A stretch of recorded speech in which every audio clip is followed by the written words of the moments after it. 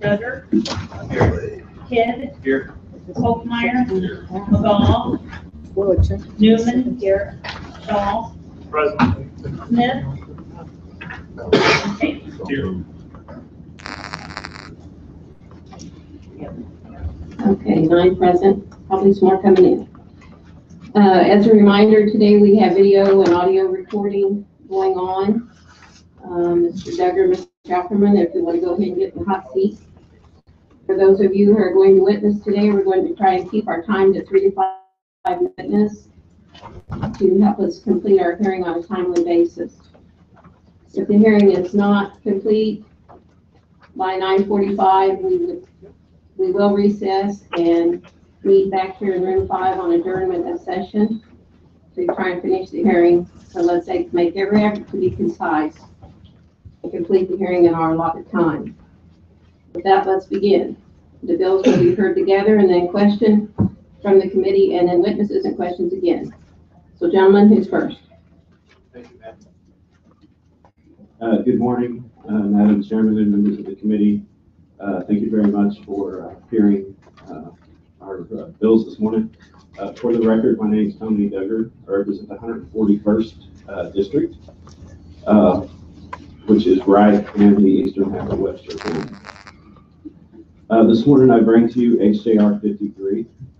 Uh, HJR 53 is a constitutional amendment uh, that if this uh, committee passes and we move on through the legislature, would go before the voters of the state of Missouri and let them decide if they would like for us to consider requiring a photo ID in order to vote.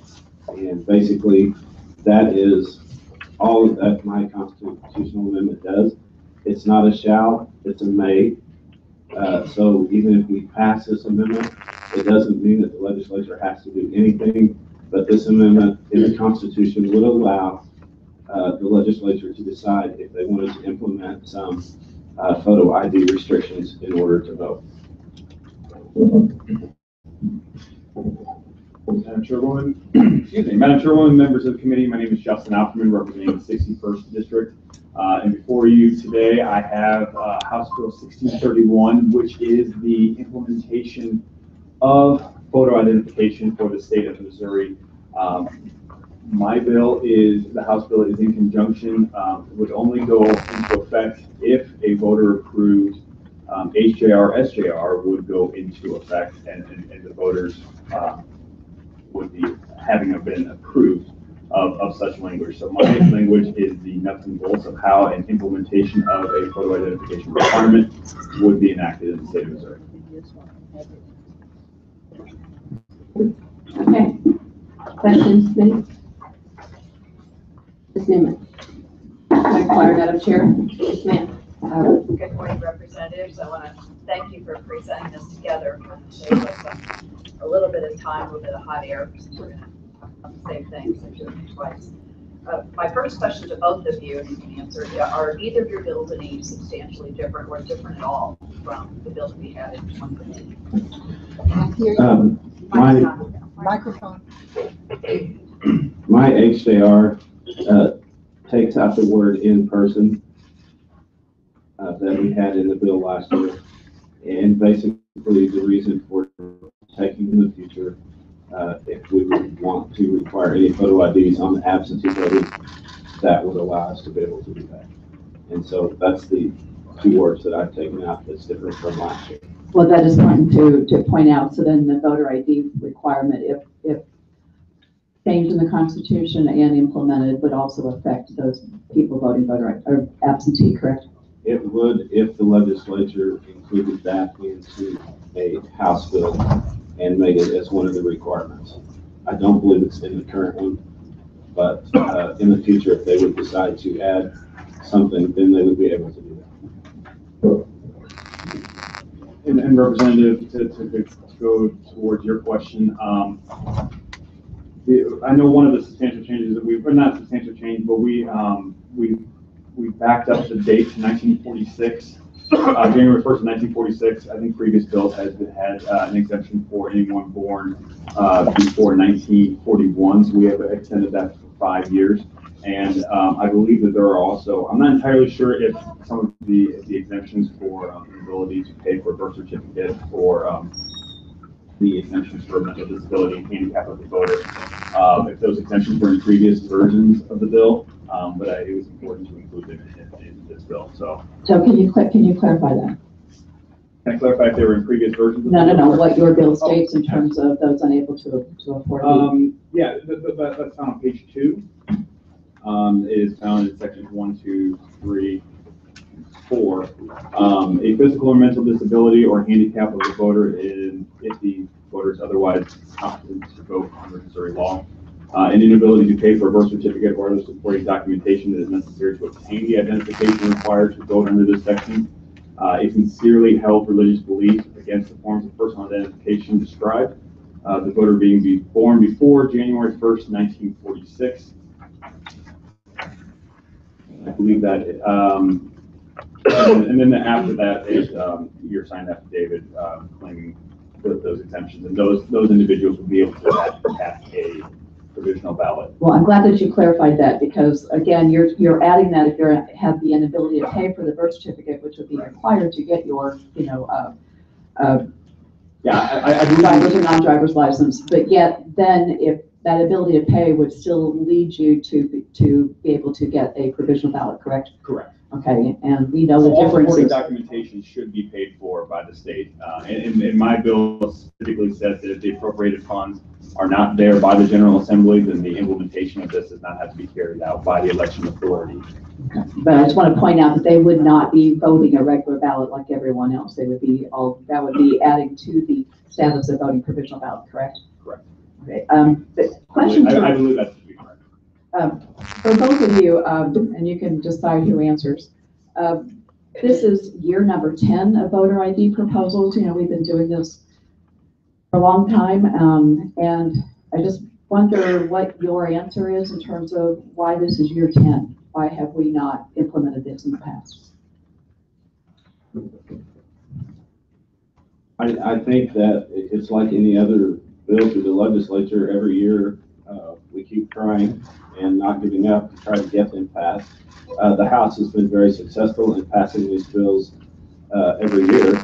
Uh, I guess the holdup is on the Senate side, and so, um, we are again sending the bill, and we'll see what happens. I, I would mirror that, those comments. I've only been, uh, in this chamber for, um, a little over a year. And so this is my, uh, my first opportunity to actually try and enact this language. Um, I wasn't around for the past ten years. Uh, as many of us in the room at, due to term limits weren't around ten years ago as well. So, um, I think you typically see this type of legislation and, and any type of legislation sometimes of substantial nature like this. It takes a while in order to pass it through the legislative process.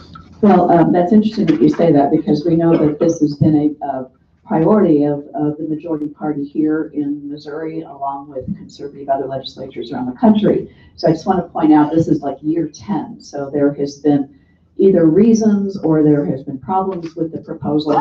Uh, but it just seems really odd to me that we keep doing this every single year when we know this is your priority. And the other, the, the big overall question, I think, for both of these proposals is why is it necessary, the rules on current voters? Why is it necessary to all, all of a sudden decide that this game is different, that we're changing the rules on who is continued to allow to vote? Because we haven't heard a reason from either one of you. When you say we're changing the rules on who we're allowing to continue to vote, that is not correct. We are, we, it is our goal that everyone votes who wants to vote, who's entitled to vote, and who is registered to vote. But we want to stop any possibility or of fraudulent voting, uh, in the state. And so I think a photo ID, uh, is the perfect way to do that. And on that point, if we're gonna stop this fraudulent voting, has there been any voter impersonation fraud in Missouri? Has there been anything that's been documented, anything that's been prosecuted?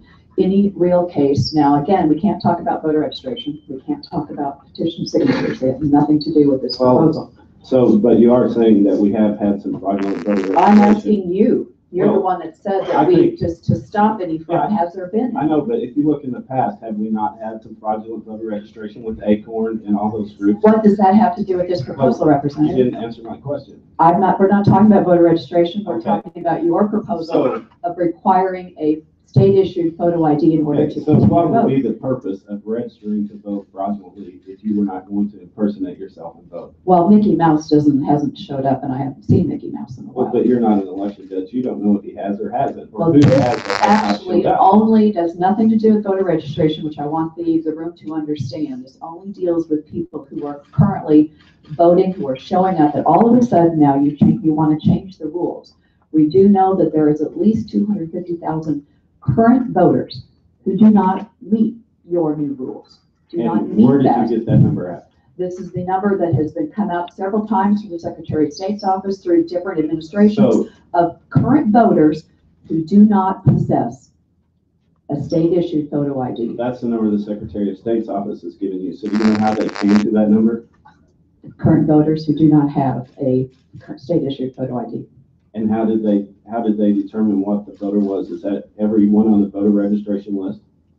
You're gonna have to ask me, people who are currently voting, I think we can obviously tell you that there's voter history. You're not really sure how they came up with that number, but hopefully when they get up here, they will tell us. Well, back to that point, back to that point, we're talking I don't about, believe that has number there is that been, high. has there been anybody doing any impersonation fraud I believe when that, they are on yes. election day? I believe, in the uh, state of one of Missouri. the election boards last year came through with a case. Uh, Has it been prosecuted? Has it been documented? how do you prosecute voter impersonation? How do you prove it? Well, that's what I'm asking you. It, it's virtually impossible to prove without a photo ID. So we're talking about something that mythical could happen, might happen. I But believe it's at the same time, we do know, regardless of what that number is, we do know that they're current, longtime voters who are not going to be able to meet these new rules. We do know that. That is, that's clear. You can argue all day what that number is. We've had numerous people, in fact, people that were witnesses in the Supreme Court hearing. In terms of, they will not be able to vote with these new rules. So again, if there hasn't been any fraud, if there hasn't been any documented cases, we don't really care about those people, right? That's what you're saying? Because there might be some mythical stuff that we may want to try down the road. Representative, don't put words Well, into You my can't- mouth about what I you can't think. answer what there is any I did documented answer. I prosecuted did answer. cases. We did have a case. Uh, one of the election boards came forward with a case. Uh, so I do think that it existed. It happened in that, uh, jurisdiction. And, uh, I, I think we have made an exception for anyone who does not have a photo ID. And I don't think I'm denying anybody. Well, again, we'd have to get into, we'd have to spend all day talking about the differences between a real ballot and a provisional ballot. But the other thing too is, and I want to move on so other people can uh, be able to testify. But it's real clear that our state Supreme Court ruled in 2006 that any voter ID proposals is unconstitutional. Now, your party, that's why we have to have this two-parter. That's why we have to go back to the voters and actually alter our constitution. Um, Your party talks a lot about protecting the Constitution. Now, I never know which Constitution that we're trying to protect, but I would assume we all swear an oath, not just the US Constitution, but our state Constitution. So if our right to suffrage is stronger in the Missouri Constitution, stronger than the US Constitution, and then that's exactly how the Supreme Court ruled. And, and it was a, a big decision. And in every other right that we talk about, particularly in, on floor debate, we want to strengthen those rights. We want to double check and make sure that everybody understands what those rights are. But now, when we come to the right of suffrage, we have a different feeling. And so now we want to weaken that right when we've got the statement from the Supreme Court decision on how strong our right of suffrage is in our state constitution. So now you want to go back to the voters and say, um, no, Supreme Court got it wrong. It's not really, we just need to change it because we need to make sure that certain people won't be able to vote because we already know that certain people won't be able to vote into this because they can't vote because they don't have what you call your new rules.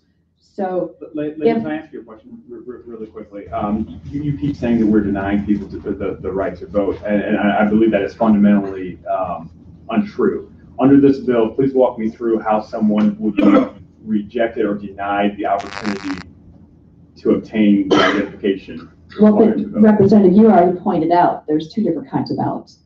There's different rules for a provisional ballot than there is a regular ballot. No ballot, not yet a ballot? It is a different ballot. It's not usually counted and you have to come back. They've got more steps you've got to go through. You're saying they've got to come back with their photo ID There's so more many steps than days that. later, but you Yeah. don't already, you can't even meet those restrictions to start with. So on paper, it doesn't mean anything. Provisional ballots do not mean anything, and the majority of people that we know don't understand the differences. So don't tell me it's the same thing. It's not the same thing. We all know it's not the same thing. That's why you have those exemptions in there, and that's why you say they have to vote differently than everyone else Ballots are not counted? they're not counted the same rate others are because they cannot meet your rules to have them counted. So, so it's just, you know, it, it's a game here and I, and I, I take offense at it because, and last point, you talk also, last point, you talk also about voter integrity. That's the word that we hear over and over about voter integrity.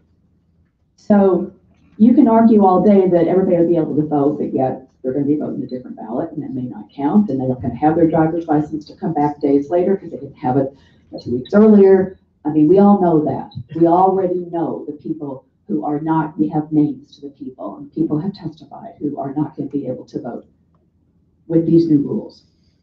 And yet, how, what do you tell these longtime current voters, we're talking elderly, we're talking disabled, we're talking minorities, we're talking out-of-state college students, we're talking people of low income who have no reason in their daily life to have a driver's license or to have a bank account. They do not fly. They do not do those things that we all consider privileges. So what do you tell those people? Because we already know, we already know many of them who they are by name. What do you tell them in terms of voter integrity? That voter integrity means that you can no longer be able to vote? That's not voter integrity in. How do you explain that? What do you tell them? And they've been voting just fine and they're real people. Lady, no one is taking away anyone's right to vote under these, both of these proposals. No one is taking that right away. You are the one that is making the assertion that a provisional ballot is not the same as a real ballot. You are the one that is saying. Is there different rules for a provisional ballot, Representative? Is there different rules that you have to meet to be a provisional ballot? On- on- under Why wouldn't those people get a regular ballot? Why wouldn't they get the ballot that I have? If we're trying to uphold the integrity of our elections, we have to verify that those provisional ballots are in fact. But these are current longtime voters. They'll tell you, they've been doing this just fine. They've had no problem. I mean, their own election boards know who they are.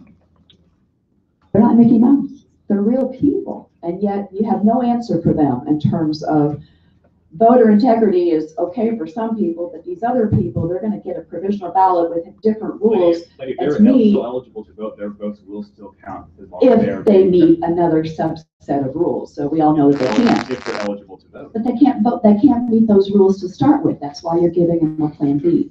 So thank you both very much. I think you've answered the questions in terms of this, these proposals, these ten years of proposals have nothing to do with voter integrity. They have nothing to do with trying to capture any kind of mythical fraud that you can't prove, it can't, hasn't been documented, 'cause it might be there, but we're not really sure, but yet we do know there are lots of people in the state that would be giving up their ability, you can call it not a right, but their ability to be able to keep casting their votes. So thank you very much. All right. Mr. Mr. Alferman, do you have any other comments, sir? I would, perhaps my comment will be answered, or answered by a question from the panel, so. I- Okay, all right. Anyone else to question? Mr. Duggan? Thank you, Madam Chair. Um, This is for Mr. Dugger. Um, Do you believe that the Supreme Court gets things wrong occasionally? Yes. And when the Supreme Court gets constitutional rulings wrong, what's the proper way to go about changing that? Uh, through the legislative process. through a constitutional amendment Yes, that the voters approve, that's correct. Right? Um, you, you would, you would, you would favor that method rather than just sitting around and complaining about it? I, yeah, I think it's the best method. Anytime we allow the voters of the state to make decisions, I think that's the, uh, the best process that we can go through.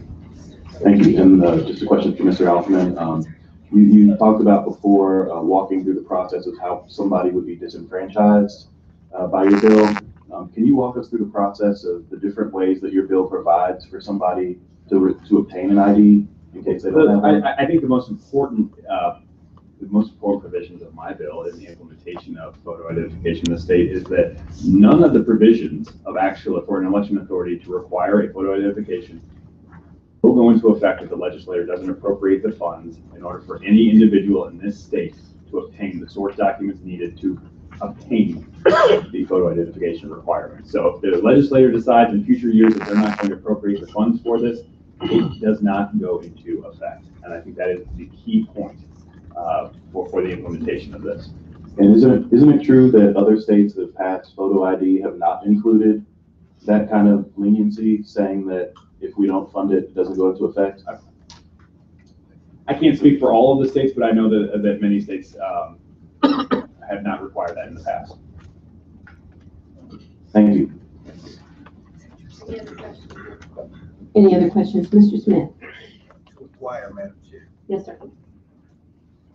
Thank you and good morning. Um, we're back. Um, can either one of you all, uh, help me with the, the, uh, provisional ballot process? Just kind of give myself and others listening the small cliff note version of, hey, I go to, I go vote. I say my religious beliefs, because that, that is a, uh, that's, that's an exemption. My religious beliefs, uh, say I'm not supposed to have ID.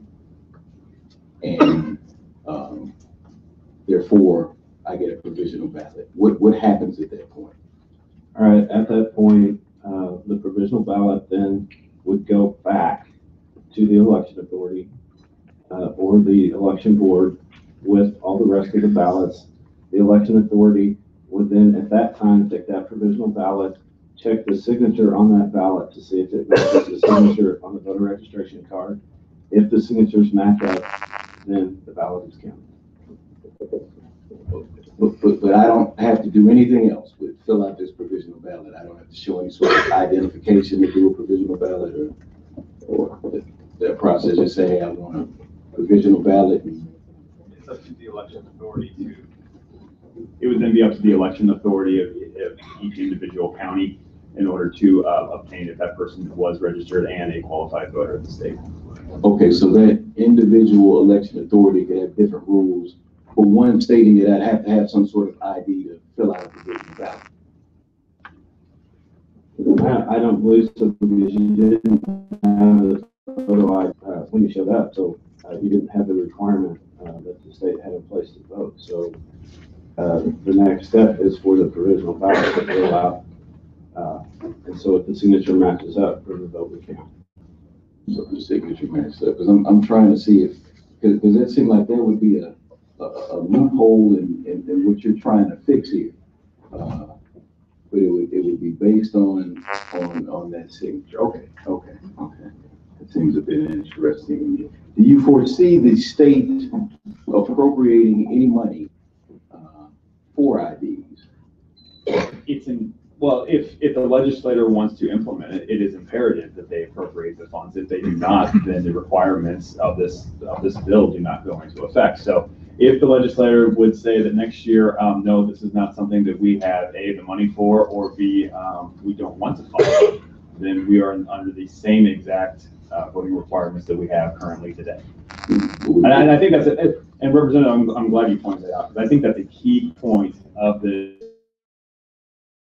the legislature just won't fund it. They simply just won't fund this provision, and, um, it, it'll be on, the, the impetus will be on the individual to obtain, obtain these source documents. That is not the case under this bill. The legislator doesn't appropriate, this does not go into effect. Right, but that just adds more government into a process which should not have, in my opinion, more government added to it. We have a lot of people in this in this building that are always talking about the intrusion of, of government on making decisions. Uh, uh, And right now, we, we, we have the right to, to do it in the state. But but we're injecting, not we are, you are trying to in- inject another layer of government in, in a process that the only example that was brought up of an alleged uh, voter impersonation happened a few years ago. However, this bill has been um, proposed since I've been in the legislature. This is my sixth year. So, so it, it's not widespread. And, and, and I- like I said before, I think it's trying to, to, to rig the game. Um, especially now, because you got a national sentiment against, uh, uh, uh, Muslims and all sort of people. So this might be the prime opportunity actually for you this year to get this one through. Uh, but based off of that negative sentiment that is coming from too many, uh, constituents in Missouri, but I do not see how, uh, where the problem is, or how this makes it easier for Missourians who have been voting to vote if this is passed. Because we're changing Missouri's constitution. It's, a big deal. Then we have to have the enabling legislation which, which which you file. And this is, if this is for one example, a constitutional change for one example it just had, don't, don't you think this is a bit much? I don't think that the integrity of our elections, gentlemen, um, is, is something that we need to be unsure about. I personally am unsure as to the integrity of some of our elections based upon the fact that I can go into a voting, uh, polling location with a copy of a current utility bill, bank statement, or paycheck Mhm. and say, this is who I am, sign a signature, and the, the opportunity to be able to commit, uh, to commit voter impersonation under current laws is, is very real. The opportunity is very real. Okay, And so, so, so, so I, I guess you question the election that you've been in to get to this office based off of, uh, uh, the, the lack of ID requirements. I mean, uh, all of our elections would be in question, I guess, using your, your line of thinking. gentlemen, that, that is your comment, not mine. No, I'm asking, I'm asking a question, not making. I think, I think that it's not re, I don't think that it's a ridiculous, uh, I don't think it's a ridiculous requirement that we make sure that photo identification is required to vote, to make sure that we have hundred percent certainty that we are having fair and open elections, But, but the process to get that identification. which is paid hundred percent by the state, correct? So, like I told the story in years past, everybody's not from this state. Everybody wasn't born in this state. Everybody's state didn't have the up-to-date technology that we have here in Missouri, such as my mother, who was born in Mississippi by midwife years ago, and whose birth certificate looks like, you wouldn't believe it's a birth certificate. And it was very, it took her two weeks to acquire that birth certificate once, uh, you know, 9/11 happened and it was different uh, requirements to get your driver's license. Uh, I've told the story plenty of times. So with that cost, is there a fund for the state to help get those IDs? Will, will it pay for her to, you know, get, take off work another week to go down Stoddard County in Mississippi to fight through an old trailer home, which is like the county clerk building to get, no, it, it- it's not in, it's not. So, so it is an hindrance for, for some folks to get ID because everybody did not have modern technology of the state of Missouri. Everybody that is voting now in Missouri is not from Missouri. Um, I'm, I'm, I'm, kind of looking at this voter ID issue. This is kind of another issue the that I think we should be tackling before we tackle this one because I guess we were just granted a two-year extension because of the, uh, real ID requirements. I, I, I think that factors in. I think we should make sure that our stuff is right. Uh, that, that we're able to travel about in this great country of ours, uh, or, or go into federal buildings, um, uh, before we're sitting here looking at, hey, you need to acquire this ID that may be, be, be worthless in a, in a couple years. Do you, do, do you see that as an, an important issue too? Well, I, I- think you brought up a- a- an important uh, correlation between because uh, you have the right to vote in this country just like you have the right to a, a trial by jury. And if that trial is in a federal building, you have to re- you have to provide a photo identification to step inside that photo, uh, inside that federal building. So are you saying that it should be unconstitutional or it is disenfranchising people who try to get into a federal building? No, I'm talking about the state of Missouri. Well, And I and our ability those to federal to- buildings to aren't. travel about. Uh, I'm talking about our ability to travel about. No, no, I'm not saying that. Uh, I'm also not saying that we need to const, do a constitutional change over one alleged example that came up about something that may or may not have happened, because if that's the case and we're using that rationale, our constitution would be a lot more pages than what it is right now. I, I've got, uh, quite a few different constitutional amendments in my mind that, uh, that I could change, uh, more, uh, reaffirmed about equality and other things. Um, I'll, I'll, I'll, start to, I guess I'll, I'll, I'll end my questioning or, or with a statement because I know we- we're limited time on other people. Um, th- this is a bad idea, a very bad idea. It does not cost me money to register to vote. It does not cost me, uh, money in the way of I have to go buy an identification in order to register to vote. But now it's saying, hey, I've got to go purchase something in order for me to vote. And that right there is wrong. You, you said it yourself. We have a constitutional right right now, state of Missouri, to vote the way that we've been doing. Now we're, you're, you're attempting to change the constitution to, to, to hinder the process, and, and that's not right. I don't think that's, that's freedom for Missourians. I don't think that's fair for Missourians. So I, I would suggest that you, you, you'll take this back kind of to the drawing board. Um, and, and, and really just stop this issue of pushing it year after year after year. It's, it's, it, it- it's getting old. Uh, and I think it's, it's, it's not gonna be useful for these citizens. So thank you all for answering the questions. Thank you, Madam Chair.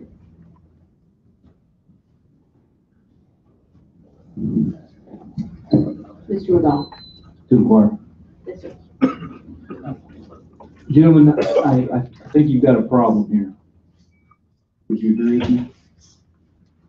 And we talk about photo ID for the last ten years, but really what, I think what you need to call, and let me know if you agree with me, is election fraud intervention.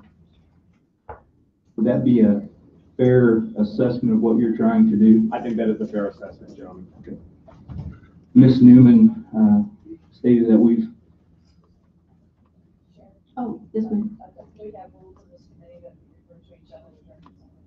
Representative Newman stated that we've been here for the last ten years, is that correct? That was your statement. Mr. Dugger, how were you employed in two thousand? I was a county clerk in So- Grant County. Okay, so you, you know a little bit about the election process. Yes, sir. Tell me about the elections of two thousand. Big election year. Yeah, yeah, There, there were some, some big things going on in the nation and the state. that's correct. And, uh, most of it hinged on the state of Florida, uh, which changed the whole election process as county clerks at that point. Uh, the and Ready to Vote Act came on, uh, bringing, uh, many federal requirements that we then had to meet. And that's been fifteen years ago. That's correct. And do you recall anything that occurred in St. Louis in regards to the elections? Well, there were several things that happened. One that, one that came to mind was the polls were left open, uh, till way in the night, uh, while all the rest of the polls across the state were closed. Uh, St. Louis managed to keep theirs open. Well, I want to tell you, there's a, there's a long and dubious history of election fraud in Missouri that stretches back long before the year 2000. But I wanted to, for the third year, fourth year now, give you some facts and figures just about what happened in the year 2000. Uh, Matt Blunt was Secretary of State in 2000, and he was tasked with uh, looking at the elections process throughout the state, but especially uh, St. Louis. And he found that 62 federal felons had voted, 52 state felons had voted, 68 people had voted twice in the state, 14 people who were dead in the state voted in that election, 79 people, people who were registered at vacant lots in St. Louis voted, and there were 250 addresses in St. Louis alone that were apartments where eight or more people had registered. Were you aware of that? Some of those I were, some, Were, were you, are you aware of, of any recent election, uh, type frauds going on in St. Louis in the last couple of elections? You know, one of the, uh, election boards had a case, um, and I can't remember if it was St. Louis or Jackson County. Particularly, I'm talking about what happened in St. Anne last year. You, are you familiar with that? Well, the, the mayor in St. Anne, uh, they, she, I think was a, I'm not sure if it was a male or female, they went to City Hall to take over being mayor, and she was met at the door with an attorney saying that you can't be mayor because there's election fraud in this election. That there were 18 people registered at city addresses who voted in this last election. Therefore, we're challenging you being mayor. Are you aware of that? That's last year. So in two thousand, uh, not everyone was satisfied with Matt Blunt's report. So another state office holder did a report. You know what state office holder that was? I believe it was Claire McCaskill. That's right. So she audited the state election process, and she found that twenty-four thousand of the city's vote- voters were questionable in St. Louis. Her report tabulated that there were four thousand four hundred and five dead people on the rolls. There were two thousand two hundred and forty-two felons, one thousand four hundred and fifty-three people voting from vacant lots, fifteen thousand nine hundred and sixty-three registered voters who were also registered somewhere else in Missouri or Illinois.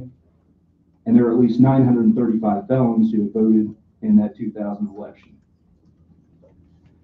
So when you hear arguments about, we keep coming back for ten years, and in conjunction with these facts and figures, facts and figures, how does that make you feel about our election process? Well, gentlemen, it doesn't make me feel very confident in our election process. So, so it would be your, your testimony today, you brought this legislation trying to help the elections process in Missouri. Absolutely. It is the, it is the purest form of a citizen being able to participate in a democracy and in a republic is their ability to vote, and that needs to be hi- held to the highest standard. And you believe that, uh, voter, photo ID and, and the bills that you brought forward, would be the ultimate safeguard to protecting our elections. Yes, I believe that. Gentlemen, I would, uh, again, uh, say thank you for doing this. I think if you, if you take the politics out of this question, what you're trying to do is strike a compromise uh, to allow people, I, I, I think that I can't look anyone in the face and tell them that anybody who brings a piece of legislation like this wants to disenfranchise even one voter. Would you agree with that? I absolutely agree with that, gentleman. There's But- no part of me, and I, and I think I speak for, uh, the Representative Dugger as well, that none of us wants, neither of us want to disenfranchise any voter in the state of Missouri. But would you also agree that one fraudulent vote in an election disenfranchises every person who votes legally? Absolutely. Thank you. Mr. Conway? Inquire, Madam Chair. Yes, sir. Thank you, Madam Chair. I uh, was listening to some of the remarks that uh, have come out so far, and maybe at a later date, I'll be able to talk to Representative McGaugh to see if the voter fraud intervention is going to be effective in every county in the state. Uh, But we'll get to that discussion at a later date. Uh, um, This is, I know the Representative Newman said 10 years. I don't think it's but I know that uh, this is our last chance to do this, Representative Dugger, so I do want to ask a few questions about the format of mainly to Representative Alferman on uh, the, the context of the bill. Uh, I just wanted to catch you on your opening remarks. You did use the term uh, additional restrictions. So I just had never heard you uh, uh, used that term before, so. That was your opening remark, you said additional restrictions on the process, I so, uh, in referring to the photo ID, but that's fine, All right, I'll, I'll get on with this. uh, Representative Alferman, uh, you have an approximate fiscal note on this piece of legislation? There has been a fiscal note, and- and, and gentlemen, I'm very glad that you brought that up. Um, I would have to question the, uh, the fiscal note, um, because on page, see, this would be page four of the fiscal note. Um, we have numbers supplied by the uh, Secretary of State and the Department of Revenue that say the estimated number of individuals registered to vote who do not have a photo identification on file with the Department of Revenue as of March of two thousand and nine. So that number that they had given us of two hundred and fifty-three thousand, four hundred and ninety-six, I would have to question because as you very well know, we are in 2016, seven years removed from two thousand and nine. Okay, so there's no current numbers because I believe that since, I believe in two thousand nine, we were buying eight motorized vans to go out among the state to take people's pictures and offer them photo IDs too. I know that's not part of the legislation anymore. That was dropped several years ago. So we don't know what it's going to entail, but we have broadened the, uh, amount of funds it would take to secure documentation from other countries and other nations to provide any information that they might have as far as a individual seeking documentation to get a photo ID. So we would pay any state entity or country if that was Um, the fiscal note for, for seventeen is less than ten million dollars, so I would assume that that is, um, I I assume that that would be, uh, part of that, that fiscal note. So if, if the documentation, and you know, this, this could be an individual who was born, uh, in Panama or Canada or, uh, any of those countries who was born to American citizen, they would have to get a birth certificate from that jurisdiction. Uh, the, the legislation clearly states on page four that if an individual seeking to vote was not born in this state, then the state, in its agency shall pay any fee or fees associated, um, by any other state or its agencies for the birth certificate. So I believe that, yes, we would appropriate those funds as, uh, Representative Smith, um, was alluding to, we would pay for those, uh, source documents. And that would, that documentation would be available and those funds would be available If those funds, if those. twelve months a year If those for, uh, funds are not appropriated, then the election authority of that county does not have to enforce the photo identification requirement. Okay, but that, but since this would be, the registration process goes on twelve months a year, this funding would have to be made available every year to continue that process. Not, not the same level of funding, gentlemen, because as more and more people get photo identification, that pool of people who don't have photo identification goes down every single year. So the cost will have a decline over the lifetime of having a photo identification requirement. So, um, I, I, think that's probably accurate that you'll have a one-time, um, one-time larger expenditure, and then every subsequent fiscal year, you'll have less and less, um, funds that will be required, um, to be appropriated.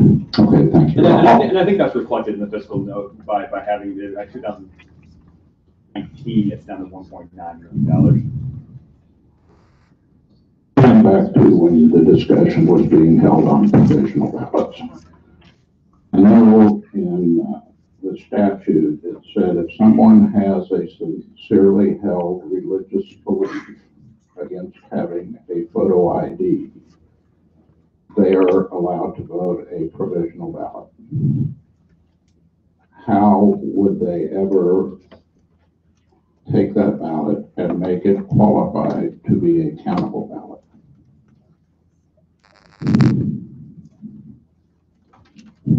From their signature on the voter registration card, where they're registered to vote, and then the signature where they sign the affidavit on the back of the envelope that they're attesting to that they have a religious belief.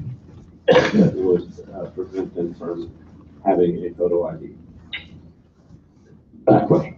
And I want to take this a step further because we were just, had brought up in the questioning discussion about the 2000 election. So then we would have 116 separate jurisdictions who would then interpret what, on the basis of the registration, what type of signature and how that signature is written in comparison. And you and I know we've had this problem with petitions over the years, but if we're broadening this, so all 116 jurisdictions can give their interpretation of what qualifies for that provisional ballot to be accepted, uh, I think that leads to even, uh, many of the problems that Florida experienced because each of those election officials were demonstrating their own specific interpretation of the law to require ballots to be counted. Yeah, but Representative, wouldn't you agree that in every county today, our election authorities are making uh, decisions um, differently in every county? And, and so are the election judges, but, I mean, uh, they interpret that certain statutes that are differently than other counties. And I think you have that process, which is maybe far outside the, uh, process of photo ID. Lastly, I just want to point out, if I am correct, if an individual votes absentee by mail, there is no photo ID requirement, correct? That's correct. That would be correct. So those individuals who don't have a photo ID or don't have access to vote, a photo ID then could request a ballot to be mailed to them. And they could vote absentee, As long as they fit the requirements of an absentee ballot, yes. correct? And those requirements would be the individual, uh, those would be individually interpreted by each person, whether they think that they would be absent from the county on that particular day. So I don't believe I've ever seen anyone be disqualified from an absentee ballot because of, uh, their thought that they might be out of town on election day. Uh, I think that sums it up. I mean, I, I, think this bill actually has some provisions that are better than the previous ones, but uh, we'll let the general public have some discussion. And Madam Chair, at the appropriate time, I have an amendment I would like to offer. Thank you. Any other questions the? All right, thank you. Um, If you fellows want to kind of. Okay, all right. Okay, sounds good.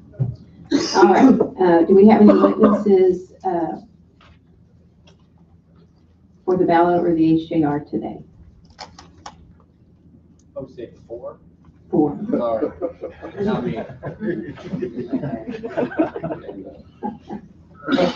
Um, Well, going once, going twice.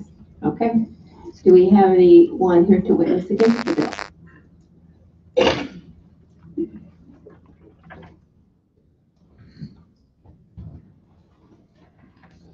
Try to.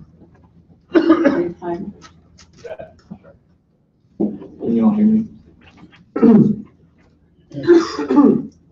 Excuse me.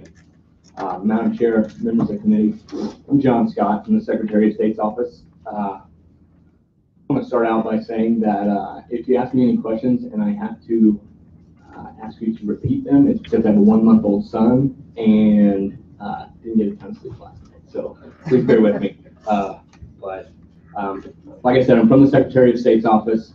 Um, The Secretary of State can't support any piece of legislation that would disenfranchise a single eligible Missouri voter. i Said that before. Um, You know, the same thing applies this year. As the state's chief election officer, uh, Secretary of State believes that uh, only eligible voters should vote, but that all eligible voters should have the opportunity to vote. Um, I think that's really key uh, to remember. I also want to, that being said, take a step back and uh, help put in perspective what uh, the committee is being asked to do today.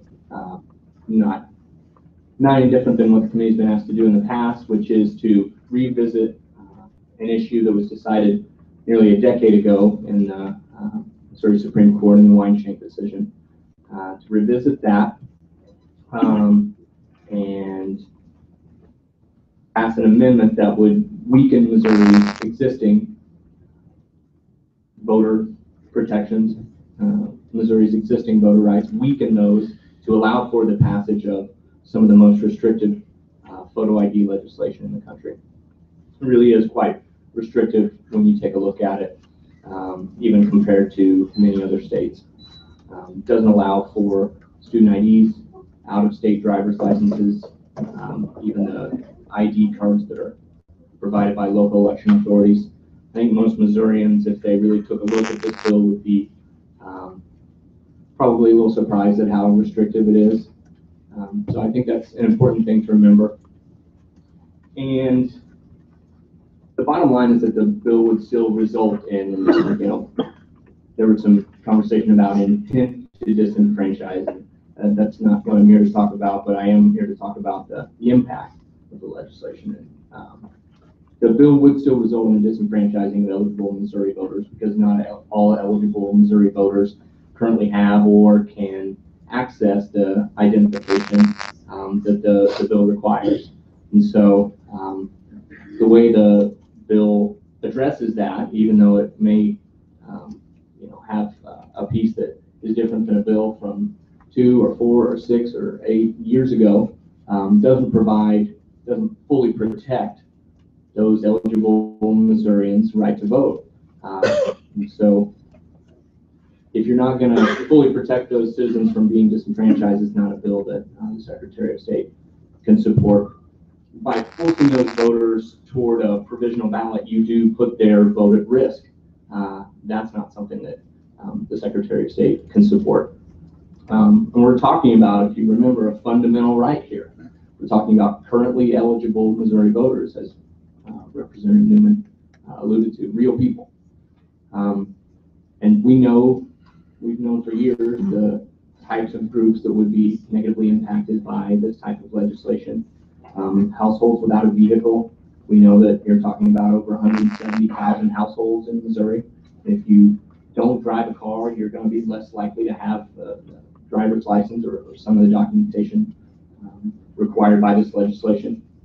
People who take public transportation to work, again, less likely to drive, over 30,000 Missourians. Um, Missourians over the age of 75, uh, I'm talking about 400,000 Missourians. College students can't use their student IDs, you're talking about over 400,000. Um, Missourians in poverty, you're talking about over 800,000. You're going to be less likely to own a car, less likely to have the ID required. Um, so again, the bottom line is that the bill results in disenfranchising eligible um, Missouri voters.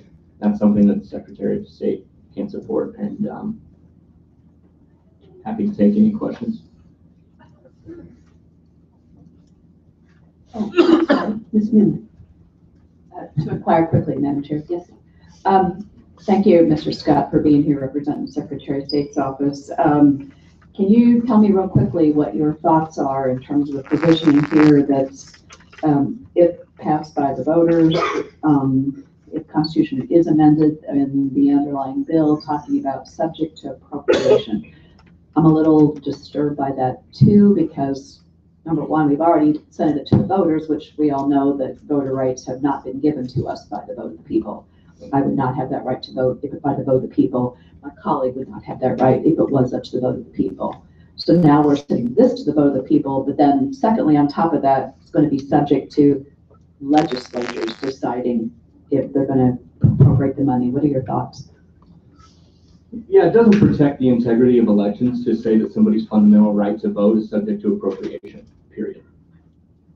Um, it doesn't protect the integrity of elections to say that somebody's fundamental right to vote comes down to what was uh, in the final conference committee report of House Bill 12 from year to year. Uh, it's not right.